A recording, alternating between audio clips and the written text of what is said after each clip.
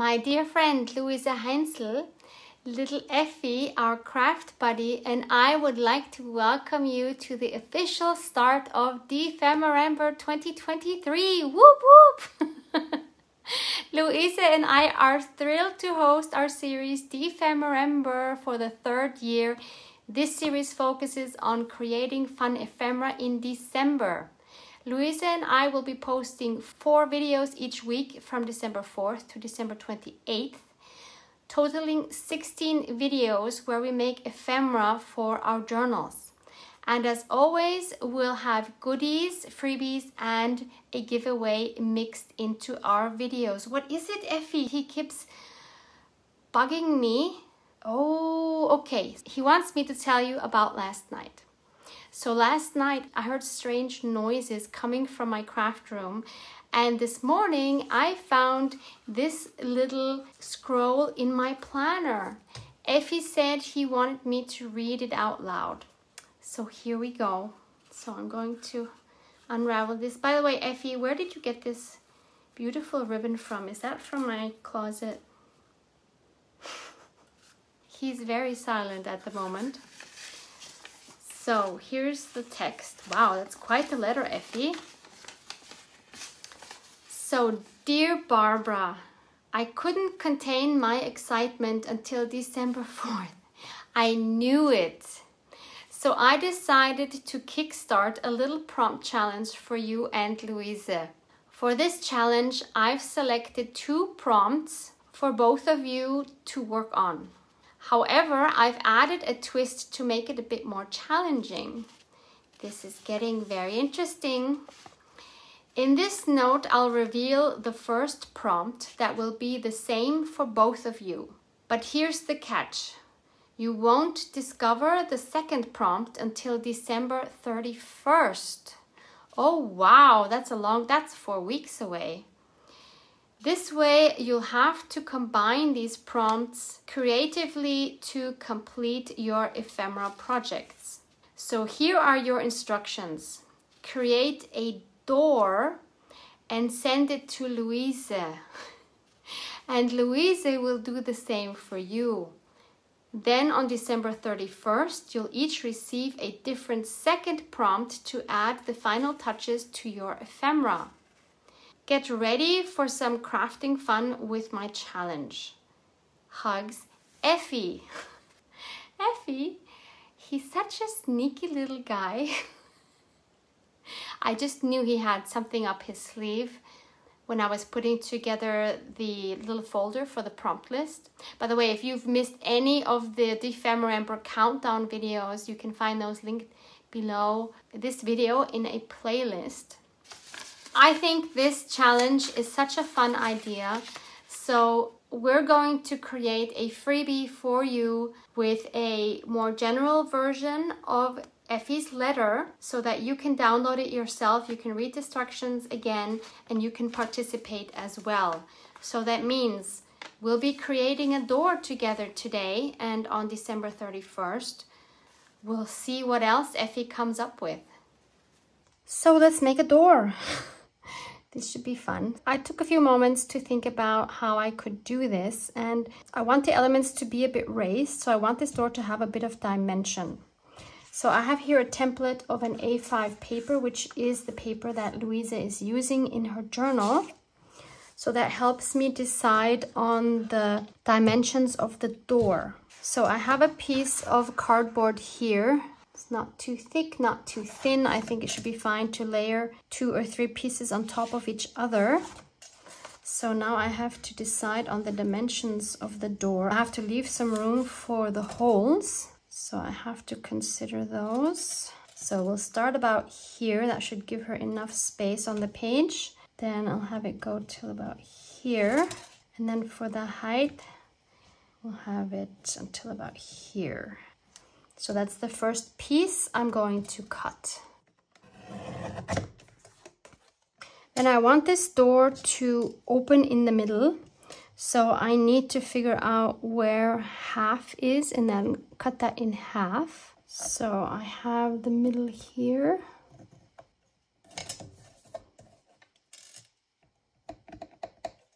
Let me quickly give you the measurements of this piece because I know some of you will want to know. So in inches, we have a length of almost seven and a half. In centimeters, it's 18.8. And the width is in inches, a little over four and a half, and centimeters, 11 and a half.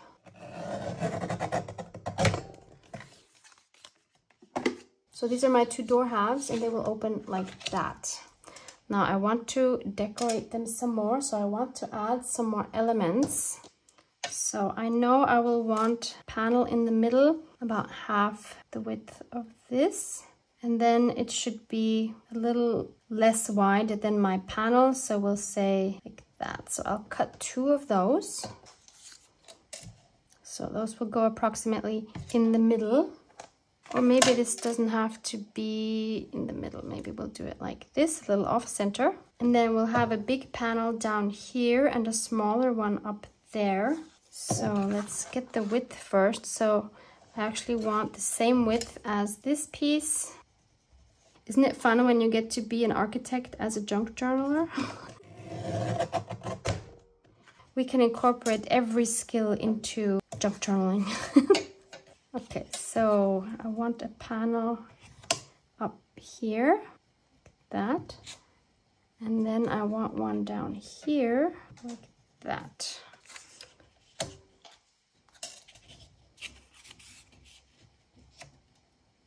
Okay, so we have those and we need the same two again for this side. One and two. I didn't have enough of the same cardboard, so I just took another one and I cut panels that are again a little bit smaller than the ones we just added. Wait, this is cut completely crooked. Let me just fix that. Okay, that's better. And then we have these up here. And we have these.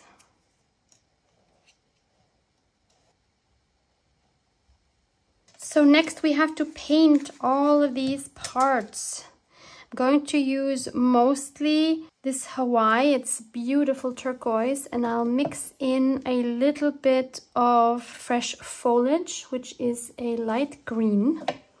We'll put another coat on top, but this will be the first layer.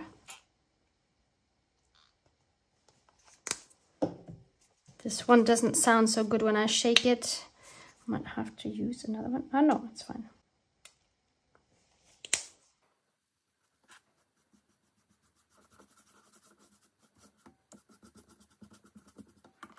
Have to make sure to also get the edges. Look at me working with no gloves. I'll mix in just a little bit of the green.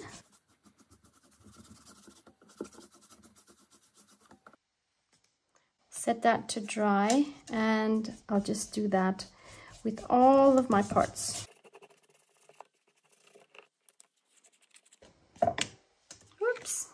my goodness.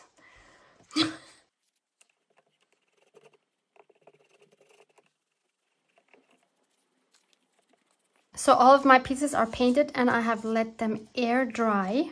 Little Ephy here is being very quiet. He's not giving me any input whether this is good or bad or whether this is what he had imagined. He's just letting me do my thing. Now, of course, I want to give this a more vintage look. I don't know how to do this. I've never done it.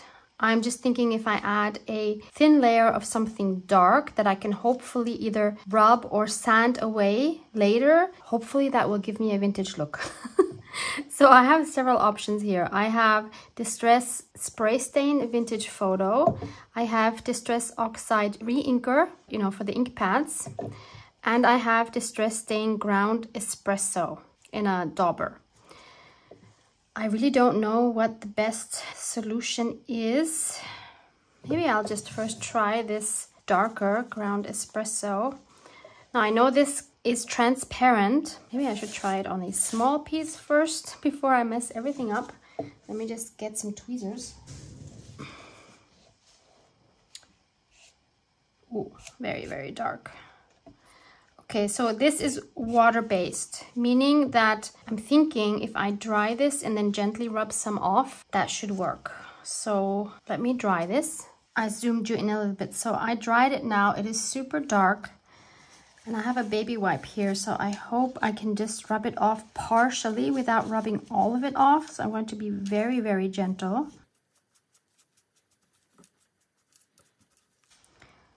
So obviously it's, it's coming off. I knew that would work.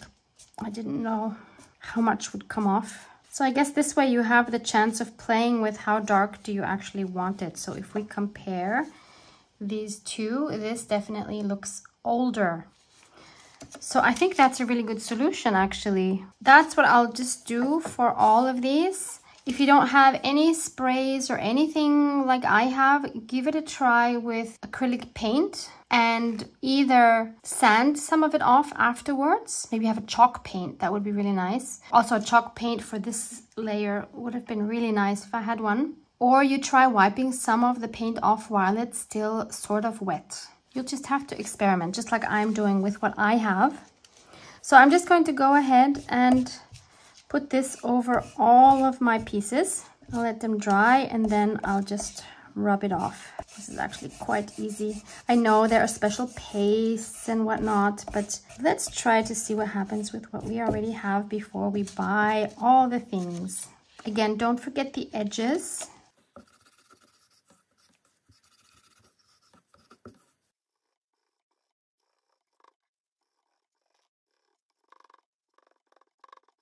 I'm super happy with how these came out. I think they look really nice and vintage now. And I want to add some more accents on the edges.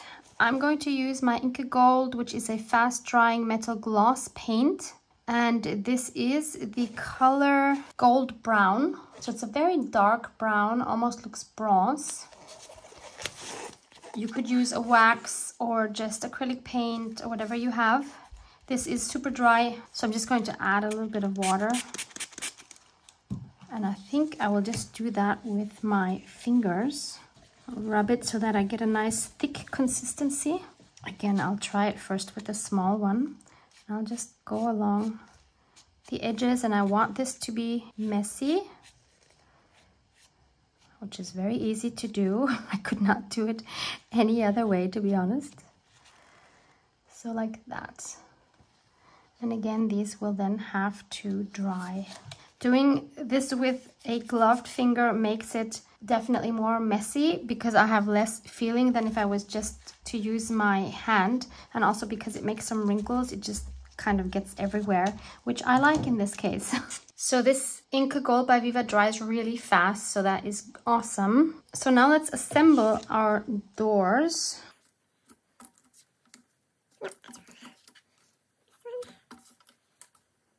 If you are very patient, then I would suggest you leave your parts under books for a few hours or maybe even overnight. That way it'll be nice and flat. But I don't have time for such nonsense.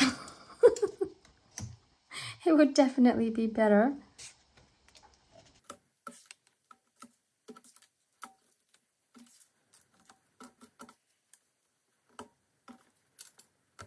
I like it.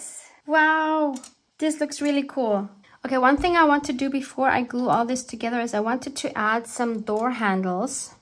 I have these huge ring fasteners. You can find these on Amazon. Tim Holtz has them as well. And they're just brads basically with a ring that go through this part that you can just attach. And I think I want to add these. Oh I see an issue right now because I thought I could add them underneath these two so that we wouldn't have the ends on the back but I just see now that I can't because I obviously want the ring to hang like this but that means that these are on the top and the bottom and they are too wide and I don't think I want to cut them that short or could I? Because I really don't want them sticking out on the back side. Hmm, maybe I should first see what they even look like. They might be too big. These come in different sizes. These are what I happen to have. I mean, it's kind of big, but I think it's fun. It's super bulky, of course. Oh my goodness, Luise is going to kill me. oh no, I didn't consider the bulk. That is crazy. So the only other ones I have are these tiny ones and I think they're going to look ridiculous on our door. But of course they would be a lot less bulky. Oh, this is a different color. Ah, they have different colors. Okay. Thankfully, I still have two with the same color. Actually, is not as ridiculous as I thought. And I think Luise will appreciate not having so much bulk. Oh, let's do it. I thought these would be fun, but Luise won't be happy. We want a happy Luise, right? I think we can all agree on that. We could obviously leave them just as they are. They look totally fine. But I have something I want to try that I haven't tried yet. So I recently got this Distress Foundry Wax statue. So it's this kind of bronze. And I'm really curious to try this. So I think this might be a good opportunity. I think I'll just use my fingers. Apparently the very important thing about this is, so like the mica stains, you have to shake it up well. There is a ball in here so first time opening this. Let's just add a little bit here. Whoops! Oh my goodness, no, that was way too much. I'm not happy wasting so much because the first part was kind of thick and then it just came out really thin. So this time I actually will just take my finger. Oh, it's like a cream. And then I'm just going to add that and then you have to heat it up and then it becomes permanent and I think it also gets a little bit lighter from what I've seen mm -hmm. it's matte right now so this is what it looks like before it's heated it would probably be nice if it had a distressed effect so maybe I should rub some of it off again This dries super fast. I would like to see some of the darker parts underneath. This is what it is. I will maybe add a little bit less. That's really hard on this one.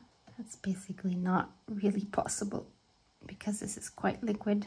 Okay, and then I'll try to rub some of it off again. Okay, what do we do with this? I really hate wasting this. Maybe if I'm quick, I could cut some die cuts and uh, maybe use those on the door.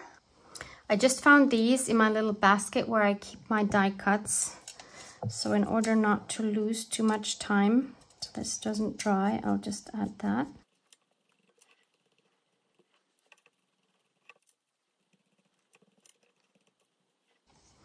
I also have these. I actually don't have that die cut, but I was able to cut these when I was at Maud's house in the Netherlands recently. Don't think I'll use it on the door, but at least then I have it and I didn't waste my paste or wax. So I also had this negative here of December. So I'll use my heat tool and we'll see how this changes.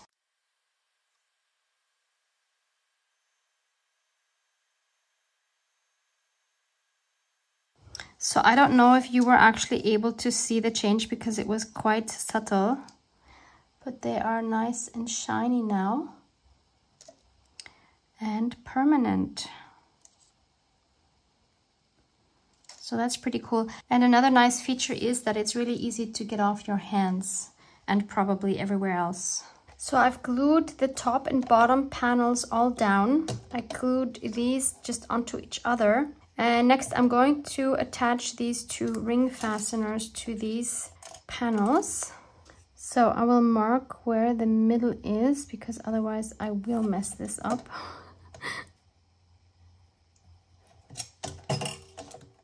Then I'll just punch a small hole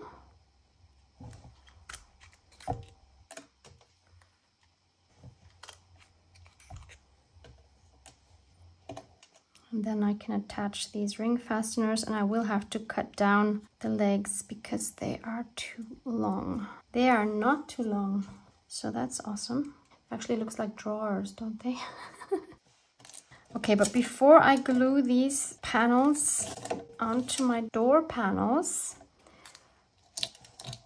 I'm going to put something on the back here. Obviously, when you open the door, you will see the back. So I thought I would add some of this. This is a print from my Dephemerember kit. This is background number five. And I printed this on matte photo paper. So the print quality is really nice. And I'm going to trace these two door panels I think I'll do it like this and I want them to have a seamless design. Oh wait, how does this work? Because when I open them, we're never going to see it together like that actually. You know what I mean? Because we won't see it ever closed from the back side. We'll see it open. Yeah, I don't know. I'll trace it and then I'll decide maybe I have to put them then the opposite way. I don't know.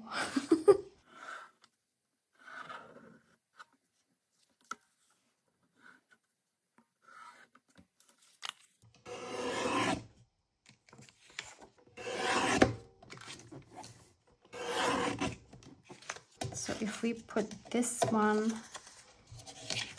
here and this one here, how will that look when we open it up? Okay, if we switch it around, then it fits. I don't know that it matters because they're going to be quite far from each other. It's okay. I'll just go with this. So I'll ink up the edges and glue those onto the back sides.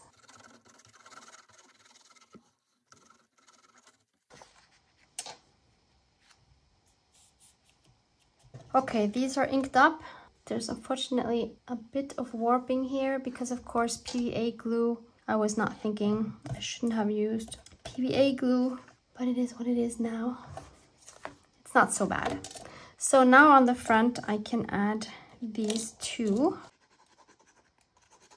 I have to make sure this is straight before I glue that down. And then I'll just clamp that for a moment.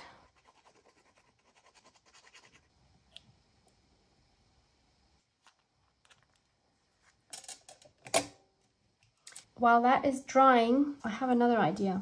You remember we have this shipping label freebie. Again, this is linked below. We have introduced this in one of our previous Dephemerember countdown videos.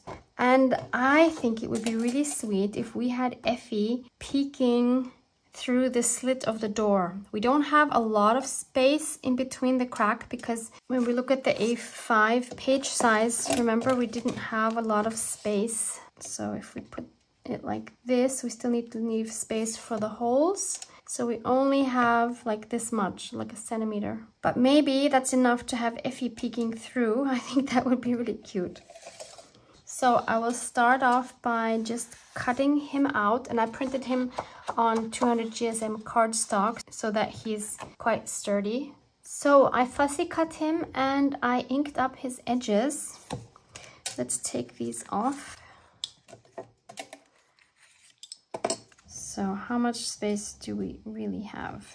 Think about this much. So now if we put him like this, he's peeking out. How cute is that? So we would obviously not glue him on this part, just on this part. But I forgot one thing because of course if we glue him on like this, this is what it looks like on the back, which is not nice. And what I should have done is before I cut him out, I should have glued this on the back side. So this way he's kind of camouflaged from the back. So now I have to trace him and cut him out a second time. Actually, it makes more sense to glue him on like this and then to just cut him out again.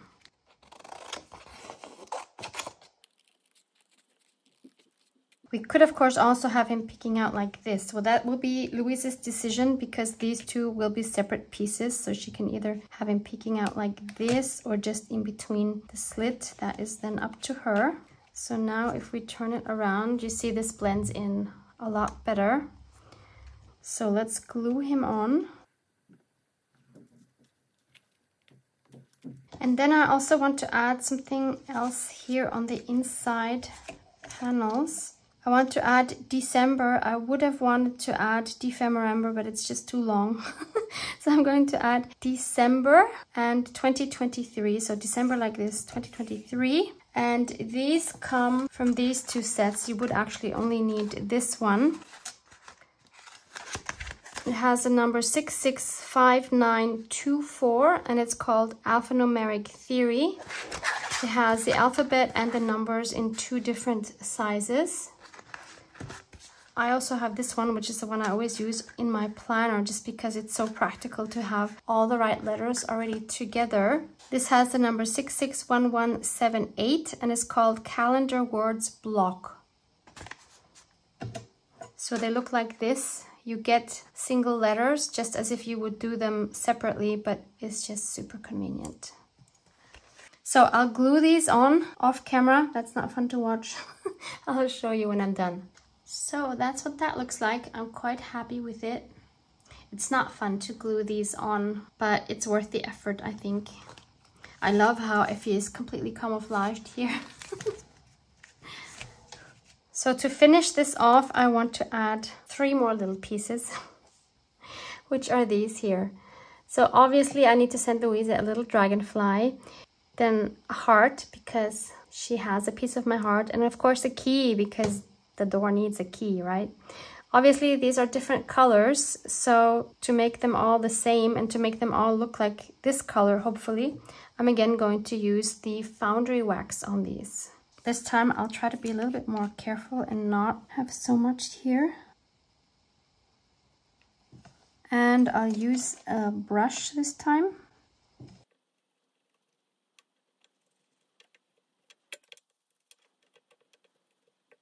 Is not really staying on because this is not silver. This is just plastic, unfortunately. I don't have any other dragonfly charm as far as I know. I don't know if this is going to work.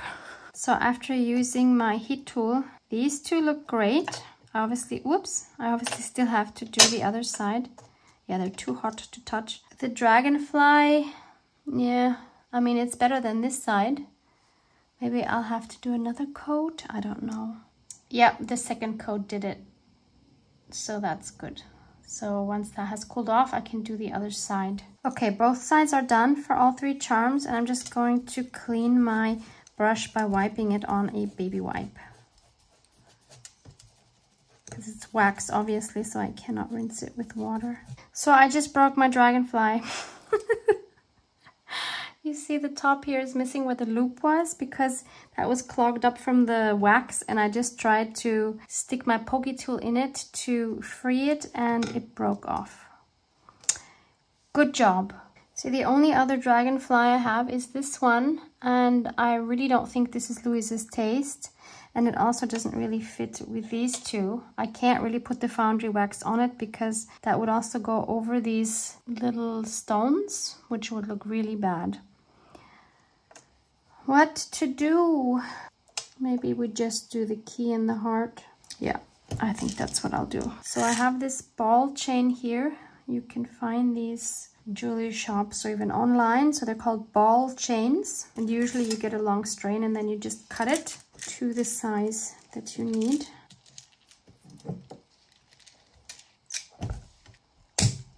Then I need to attach jump rings on these. Okay, I added them onto the ball chain and now I need to put that through the ring. And I've added this closure here and that just then needs to go in there.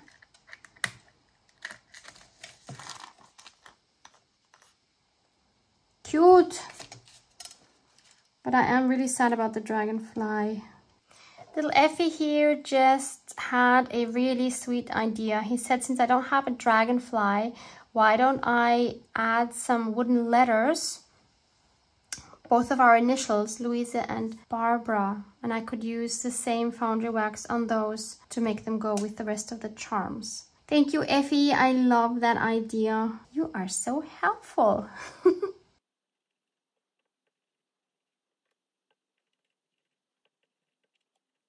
So this stuff even works on wood. It's obviously not quite as shiny as on a smooth surface, but it works. And now they fit together with everything else. Since I cannot drill a hole through these, I'm just going to attach these with some embroidery thread. And since Luise loves a good green, I'm going to use this one here. Think I'll do this like I would do it on a journal spine. So I'll put these two together, thread them through the ring, and then put the ends through the loop, and then just tie these on, one on each end.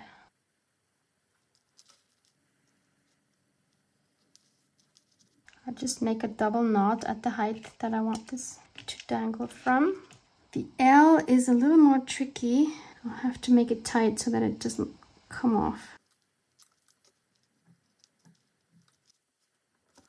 And then I'll cut these a little bit shorter, not too short. Luise can always cut them down if she wants them shorter. So this needs to go to Luise now. So I'm going to carefully wrap this first in some bubble wrap.